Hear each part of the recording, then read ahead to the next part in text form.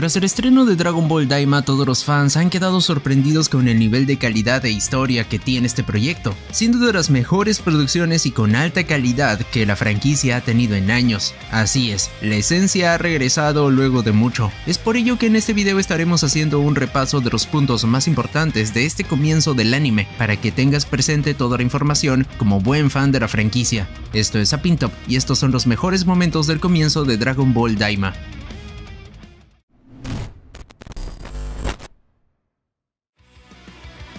En el primer episodio de Dragon Ball Daima, la confusión sobre dónde se ubica en la línea de tiempo se resolvió rápidamente. En un punto de este capítulo, cerca de la última parte, cuando los guerreros Z celebran el onceavo cumpleaños de Trunks. Es así que oficial y cronológicamente la serie está ambientada después del final de la saga de Buu, y años antes de la saga del mundo pacífico, cuando Goku se lleva consigo a Up a entrenar, lo que significa que esta aventura animada se ubica antes de los eventos de Dragon Ball Super.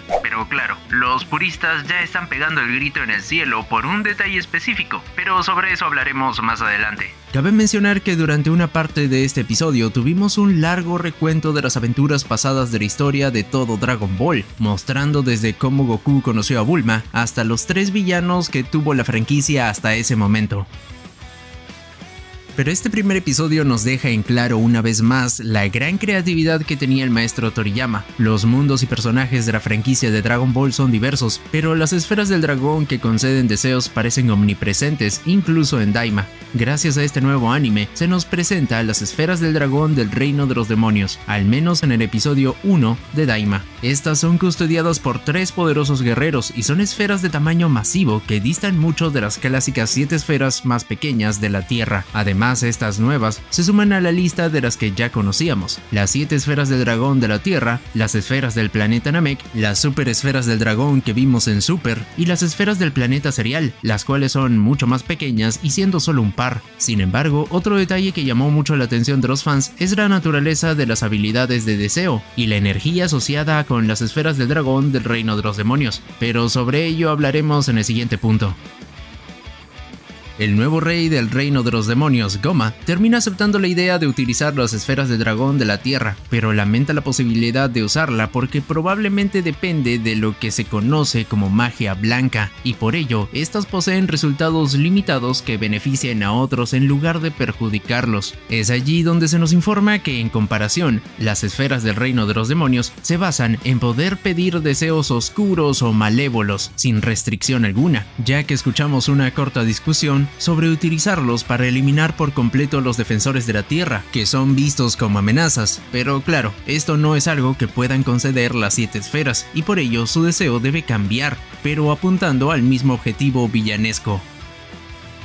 El villano en turno Goma propone concretar sus planes usando las esferas de dragón, y si bien en el reino de los demonios estas existen, no tiene intención de usarlas de este lugar porque eran custodiadas por tres poderosos Tamagamis, y se nos deja ver cómo cada personaje es una imponente figura blindada, todos bien acorazados con una espada, un tridente y un martillo. Su presencia termina de disuadir a Goma de intentar apoderarse de la esfera de una estrella que aparece en el episodio 1, pero un momento digno de mención indica que los Tamagamis sirven a un amo diferente en el reino de los demonios, con uno de los momentos más geniales de Daima revelando la presencia de los Namekusei. Sin embargo, ¿cuál es el nivel de poder de estos protectores de otro mundo? Esperemos que más adelante sea mostrado su potencial.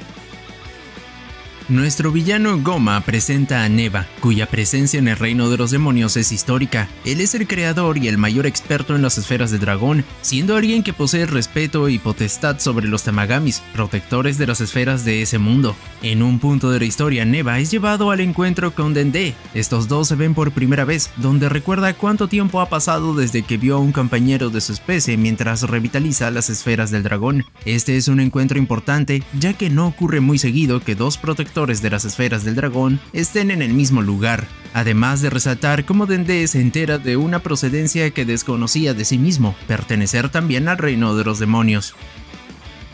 Todos los fans de Dragon Ball recordamos como Gohan estuvo en su mejor momento en la saga de Buu. Dragon Ball Daima parece ser donde se enfoca por completo en sus estudios, con Goku confirmando que se ha distanciado del grupo y familia, al menos para esta celebración que se desata. Este detalle resuena mucho en los fans pues de esta forma se conecta perfectamente con la serie Dragon Ball Super, en aquella línea de tiempo, donde podría decirse que Gohan dejó que su fuerza cayera en el camino más en la serie. Pero hasta el punto del primer episodio no se ha confirmado todavía si el hijo de Goku no aparecerá, por lo que muchos no saben si Gohan aparecerá como luchador en Daima, y si es que lo hace, los fanáticos no deben esperar una nueva transformación gloriosa de Gohan, ya que todavía falta mucho para que cronológicamente este guerrero llegue a su modo bestia.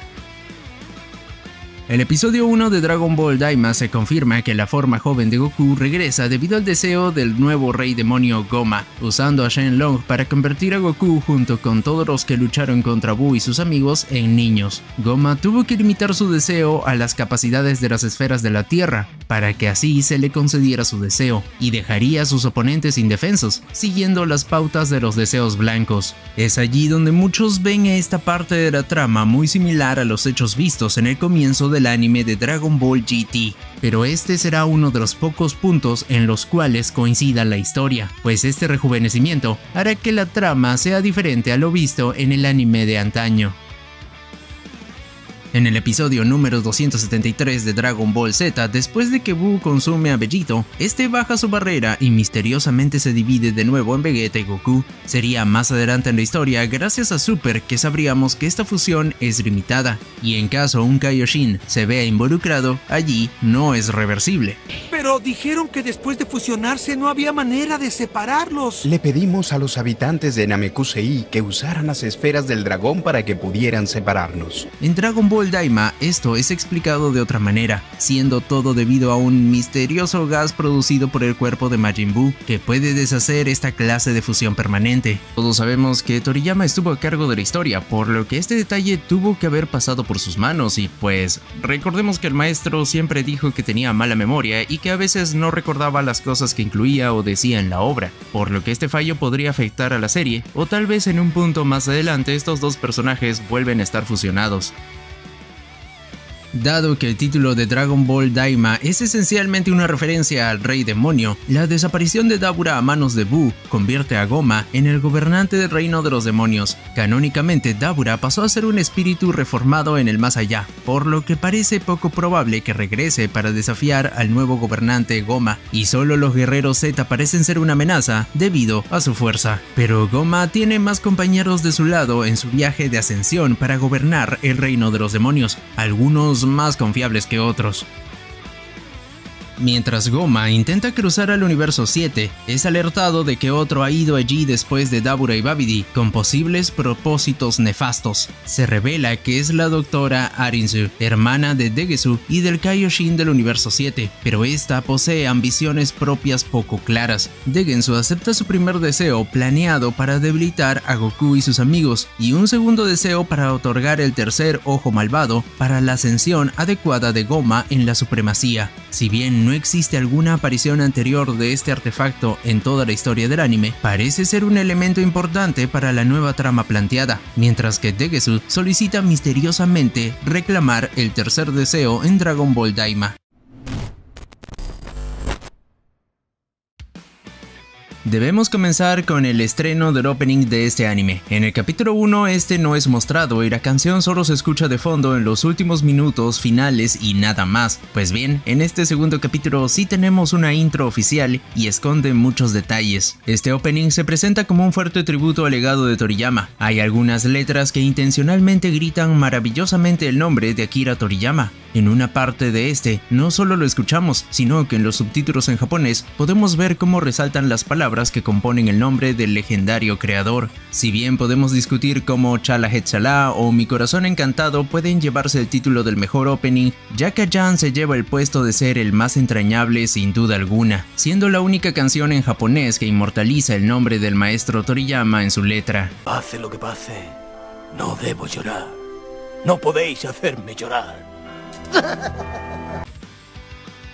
Dragon Ball Daima Episodio 2 comienza inmediatamente después del cliffhanger que cambió completamente a nuestros protagonistas. El malvado deseo de Goma se cumple y vemos las versiones mini y más débiles de estos. Aquí podemos apreciar cómo todos los involucrados en la batalla contra Buu se ven afectados. Por ello vemos como Krillin vuelve a ser calvo como cuando era niño. Vegeta no puede reconocer a Mr. Satan sin su barba, pero sin duda la conversación mental que tienen los bebés Trunks y Goten es de lo más entrañable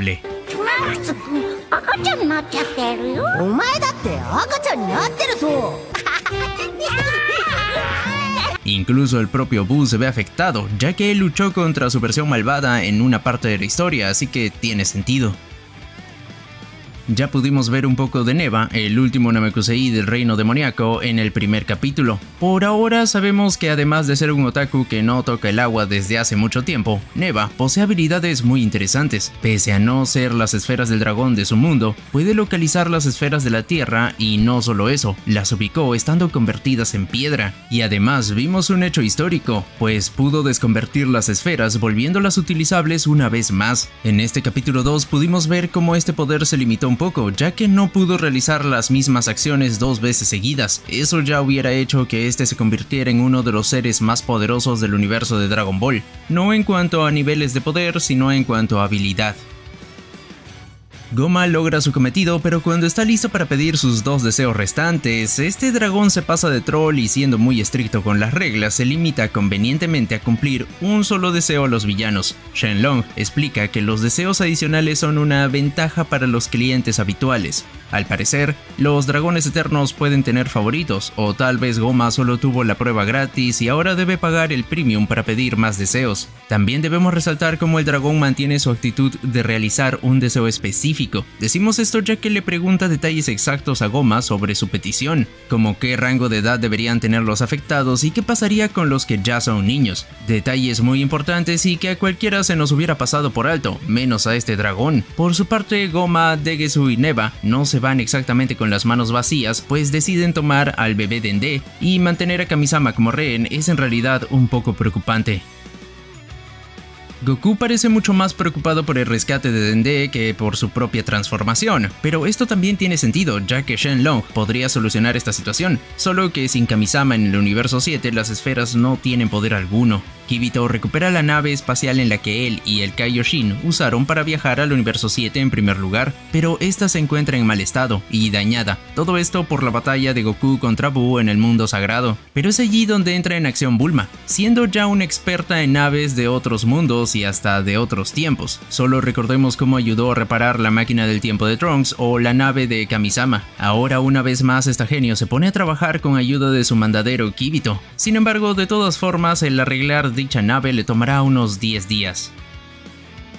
Debido a su tamaño, los guerreros Z no pueden volar correctamente. No es que hayan olvidado cómo hacerlo, es solo que la proporción de su peso cambió y ahora no están acostumbrados a esa sensación de mantenerse volando así. De esta forma, en unos días Goku logra dominar su vuelo de una mejor manera, pero nuestro protagonista aún siente que no puede luchar correctamente, pues su cuerpo pequeño tiene poco alcance y esto lo frustra. Encontrando una solución, su báculo sagrado. Primero va donde el maestro Karin, donde vemos cómo hablan de la última vez que Goku utilizó este para subir hasta el templo de Kamisama, pero ahora el báculo lo tiene el maestro Roshi. Tras ver cómo este artefacto sagrado termina como tendedero, Goku regresa con los demás y les muestra a todos el poder de este compañero de antaño, siendo un gran reencuentro y emotivo momento cuando este pequeño Goku le pregunta a Bulma si lo recuerda, ya que este objeto los acompañó por muchas aventuras en el pasado.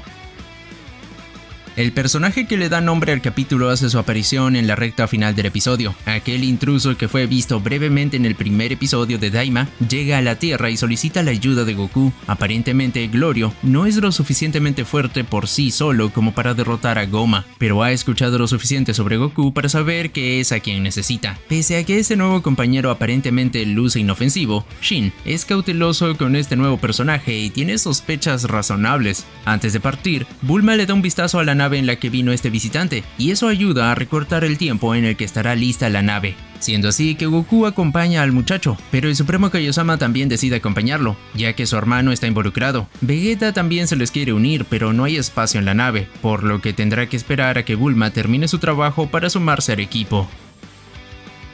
Muchos fans de Dragon Ball se han quejado de que en los últimos años la historia se ha centrado demasiado en Goku, pese a ser obviamente el protagonista de la serie, pero en quejas con más sentido, algunos critican cómo las tramas siempre muestran solo a Goku y Vegeta en acción. Pues bien, en esta etapa Daima, todo hace indicar que no solo veremos a Goku y Vegeta en medio de toda la acción, Piccolo será un protagonista más. Esto tiene sentido, por parte de su raza y claro, Dende están involucrados en la trama, así que ahora al dúo Saiyajin se le suma un Namekusei. Y por si esto fuera poco, también tendremos a Bulma involucrada en la acción, ya que gracias al ending podemos ver cómo este interactúa con más personajes, regresando a la etapa en la que era parte de las aventuras más importantes de la franquicia.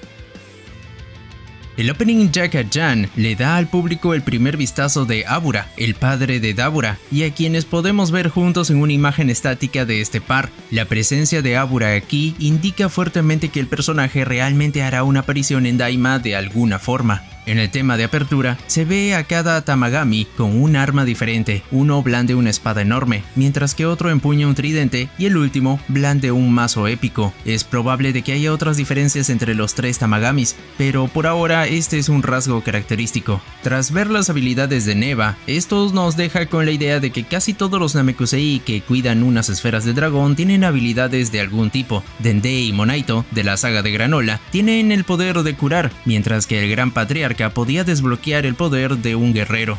¿Gohan se vio afectado? Pues en teoría debería ser un niño nuevamente, ya que él también fue un duro adversario que Majin Buu tuvo que enfrentar, y de aparecer como niño, esto permitiría limitar sus habilidades. Vemos a un Mr. Popo niño con cuernitos. Esto es algo que nos confirma que Popo no es un humano, sino que también tendría sus raíces en el mundo de los demonios. Es poco probable de que ahonden más en la historia de este personaje, pero realmente nos genera mucha intriga de saber cómo llegó a la Tierra y a este mundo.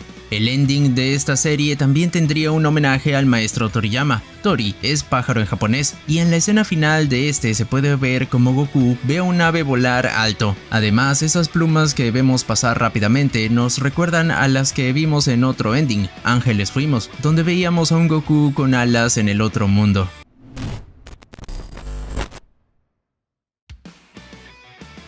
El nombre de este tercer capítulo es simplemente Daima. Esta palabra, además de ser parte del título del anime, también es un término muy importante para la mitología de Dragon Ball. Desde hace ya un buen tiempo, los animes de Dragon Ball han añadido una palabra o término extra en cada producción que se ha realizado, desde la etapa joven y adulta de Goku y compañía dentro de Z, pasando por GT, Kai, Super y ahora Daima. Pero, ¿qué significa Daima? Pues lo cierto es que es un término inventado por el propio Akira Toriyama, claro, tomando como base algunos caracteres japoneses. Según explicó el propio creador, el término Daima vendría a ser un juego de palabras o combinación de estas que, si intentamos traducir o analizar, sería algo así como el mal, la maldad o malvado similar a lo que ya había hecho Toriyama con el nombre de su villano más icónico en las primeras aventuras de Goku chiquito, el terrible Piccolo Daimaku. Dentro de estos tres capítulos pudimos ver diferentes naves a lo largo del recorrido que hacen estos nuevos personajes, desde los villanos al querer llegar al universo 7 y el último visitante, Glorio. Pues bien, debemos resaltar que estas naves también fueron diseñadas por el legendario maestro Akira Toriyama. Este mangaka no solo fue parte de la producción como creador de la historia y diseños de personajes, también creó las naves que vemos en pantalla. Esto no es algo nuevo, ya que el maestro Toriyama desde siempre diseñó vehículos únicos para todo el universo de Dragon Ball, y pues Daima no sería la excepción. También dentro del episodio 3 podemos ver en acción a los Warps, los cuales desde su primera aparición todos vimos como unos peces gigantes. En este capítulo mencionan precisamente eso. Como detalle extra, el humor clásico de Dragon Ball regresa, cuando vemos cómo para ingresar la nave pasa por la boca del warp, pero para salir lo hacen por lo que sería su... ¡Oh.